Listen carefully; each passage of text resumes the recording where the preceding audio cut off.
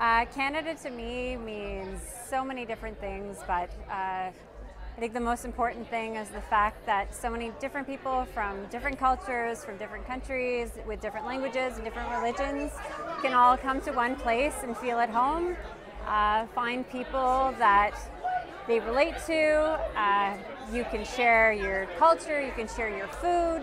It's, uh, it's a beautiful place, wonderful geography, beautiful places to visit, and wonderful people to meet.